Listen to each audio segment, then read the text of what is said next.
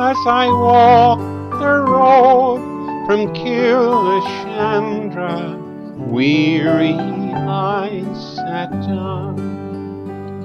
For it's twelve long miles around the lake to get to Cavan Town.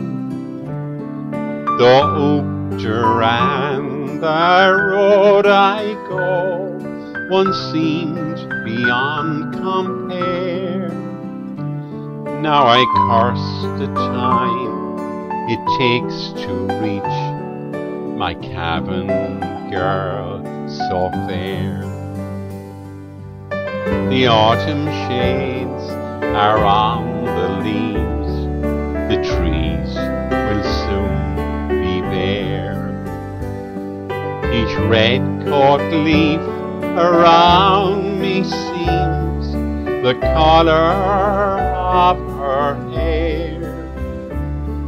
My gaze retreats to find my feet, and once again I sigh as the broken pools of sky remind me of the color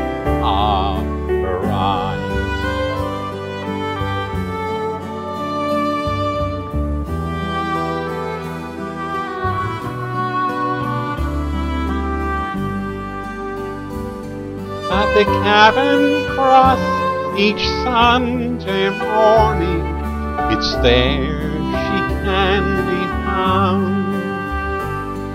And she seems to have the eye of every boy in Cavan Town.